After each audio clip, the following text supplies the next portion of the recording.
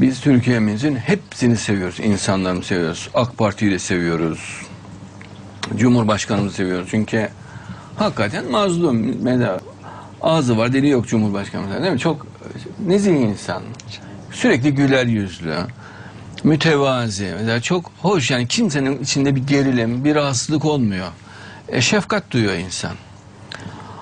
Başbakan da yaman maşallah böyle canlı yani. Maşallah. Güzel ama eksiği kusur olmuyor mu? Oluyor ama kendini iyi eleştirebiliyor. O güzel.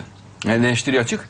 Vurdum duymaz değil yani. Mesela bir şey söylendiğinde ondan çok irite oluyor ve ısrarla üstüne gidiyor. Bu güzel. Yani anlamazlıktan gelmek çok kötüdür. Anlamazlıktan gelmiyor. Efendim hukuktaki düzenlemeler güzel gidiyor. İnşallah neticeleri alınır Türkiye'de genel olarak görülür. İnşallah. Onlar da iyi. Bizim milletimiz şekerdir ya. Bayağı güzel insanlardır. Güzel huyludurlar inşallah.